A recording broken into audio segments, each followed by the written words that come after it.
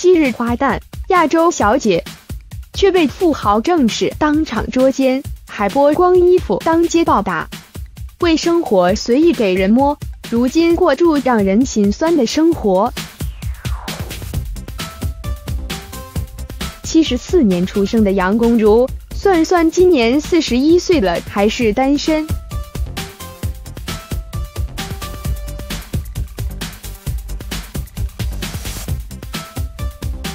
回想杨姐姐这些年的历程，活生生说明了长得美也不一定就是人生赢家啊！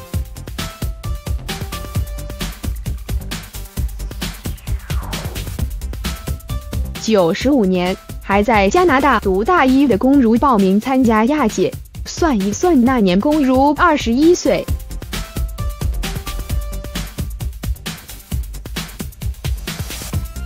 二十一岁这个年纪还在读大一，也是有点醉。正常读大一应该都才十七八呢。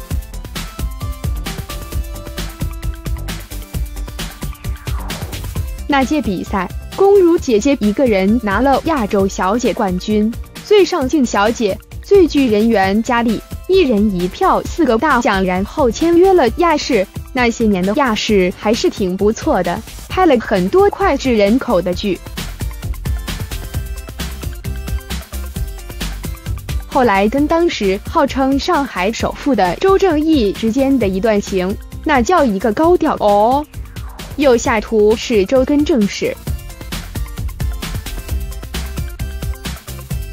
零二年跟了周首富之后哦，生活那叫一个滋润。立马就搬进了月租十二万的半山豪宅，跟小超人李泽楷做起了邻居，跑车也开了起来。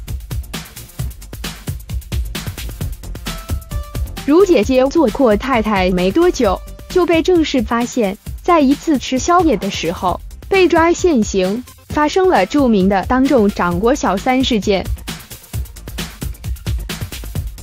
当时看到觉得正是那叫一个彪悍哦。居然敢打人！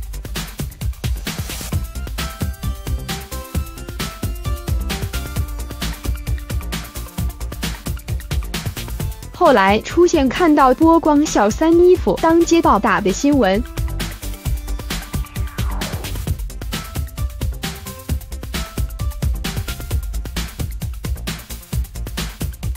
更惨的是，才住了一年多，周就被抓起来了。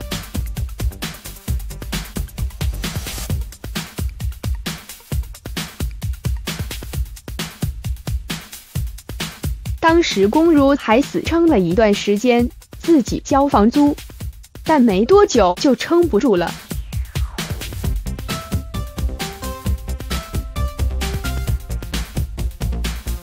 灰溜溜搬去了上海住，节省开支。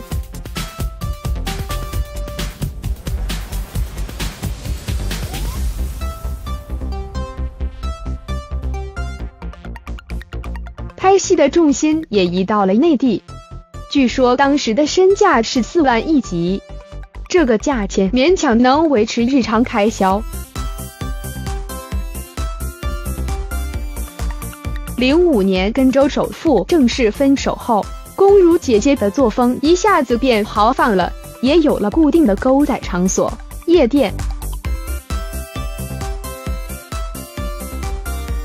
那几年。经常被拍到各种在夜店勾搭或少爷的照片。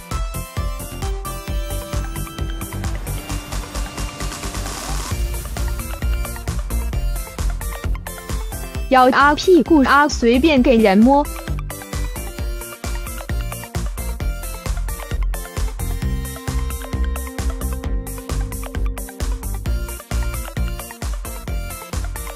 在夜店门口跟阔少各种贴面。各种亲。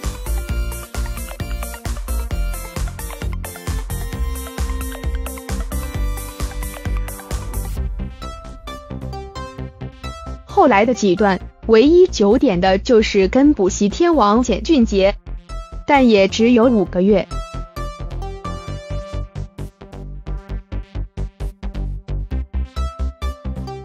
在安大略省约克大学 （York University）。主球经济学。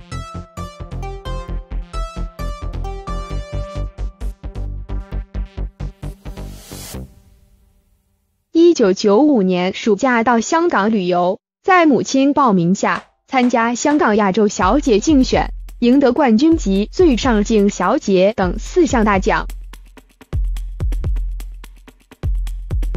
此后便签约亚视成为女议员。留在香港开始她的演艺生涯。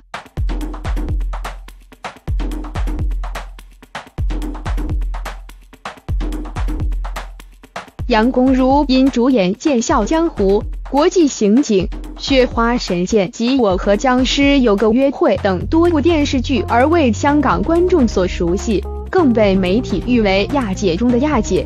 注：亚姐乃亚洲小姐之简称。一九九六年，他首次参演电影《甜蜜蜜》，陈可辛执导，并与黎明合演夫妇。获提名角逐香港电影金像奖最佳新演员。其后在接拍由马荣成同名漫画改编而成的《风云》《中华英雄》等电影。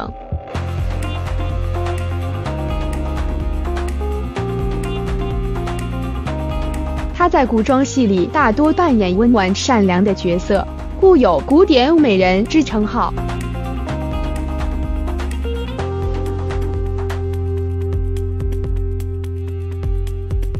一九九七年，凭《故火在情义天之红》星十三妹提名香港电影金像奖最佳女配角，最后败给同期提名的舒淇。随着亚洲电视因亏损连年减少剧集制作，近年多在中国拍剧为主。